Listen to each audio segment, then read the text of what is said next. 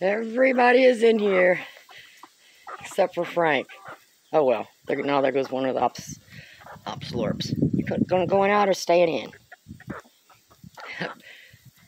and believe it or not, both buffs and both Australorps slept in with the big girls inside the coop last night, all on their own.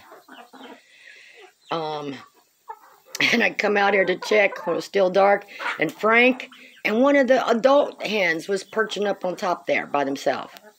And then Frank's two girlfriends were in their kennel there. I didn't even lock them up last night. I just locked them up in the run here.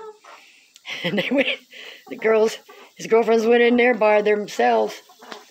But the, um, what? I just, look at, look, I just, over here, I just gave you guys a treat. No, don't, I'm not picking you up. Do not peck on me.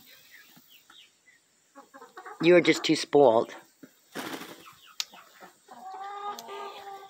So we'll see if they do it again tonight.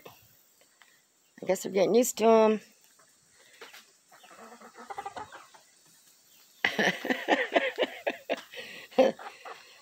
well, you slept by them last night. You know, you're running from them today. Frank, what are you doing out there, young man? You forget where the door's at? Frank. Hey, Frank. he hasn't figured out to come this way to get back in. Let me go get him.